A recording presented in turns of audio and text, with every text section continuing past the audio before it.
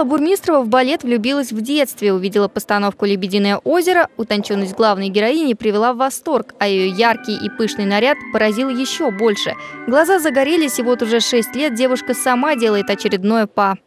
Если ты танцуешь э, в пачке, которая висит, шопенки, как-то не особо тебе, мне кажется, хочется танцевать, как в пачке. Ну, потому что пачка, одевают э, балерины, э, и ты уже чувствуешь себя балериной, что ли.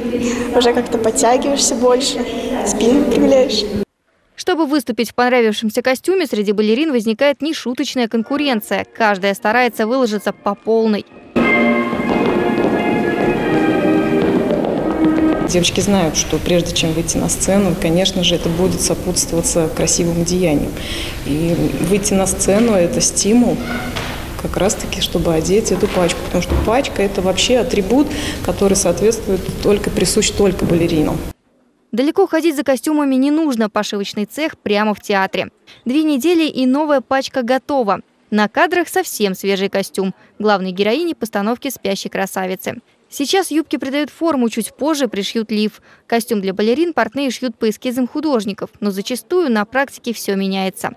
Когда художник приходит в швейный цех, видит пошитую пачку, украшения он придумывает на месте, в команде с портными. Иногда, рассказывают специалисты, творческое озарение приходит совсем внезапно.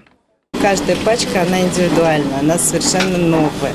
То есть в любом случае, не, не, ну, даже Сама технология пошива, она постоянно меняется.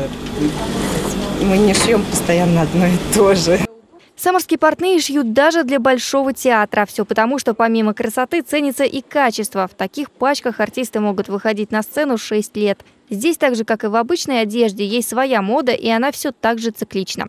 Например, в работу сейчас возвращаются костюмы позапрошлого века, короткие пачки с опущенными вниз краями.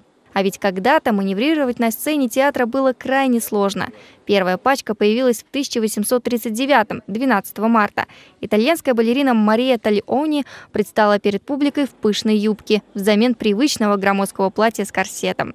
Как известно, театр начинается с вешалки. По костюмам же можно судить, как меняется театр со временем. Вот это, например, одна из первых пачек. Мы видим, что она гораздо длиннее современных и уже. А вот это уже современный экземпляр, костюм Эсмеральды. На одну пачку уходит почти 20 метров фатинов. В Самарском театре оперы и балета их количество уже перевалило за тысячу. Мария Левина, Максим Гусев. События.